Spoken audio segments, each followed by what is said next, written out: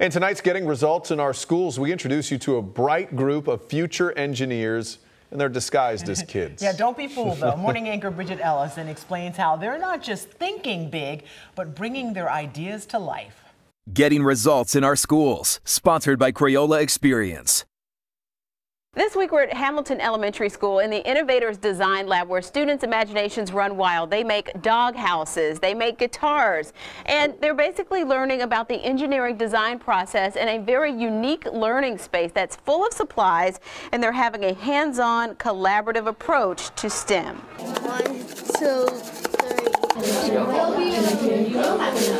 Armed with sugar cubes, water, sand, and chalk, these students are learning about the effects of weathering and erosion. It's like crumbling. Students at Hamilton Magnet School of Engineering and Technology use the engineering design process in every subject. Our students that are doing our design challenges um, use the science standards and incorporate the English language arts standards and the math standards as well to make it an integrated unit. So no matter where they are in their day and what part of the learning is happening, it's all integrated together. The materials they use in labs improvise real ideas, like these heated shovels made by second graders from recycled paper products. When you're digging in the snow, if you you can heat the snow up and while you're shoveling, so if if you run out of water, you could put that into a filter and you have new water.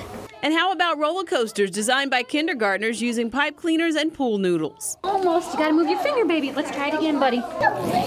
Each project simulates real world work environments and problem solving, skills they'll take with them into adulthood. You imagine what you can create and then you plan it, create, and then you can prove it.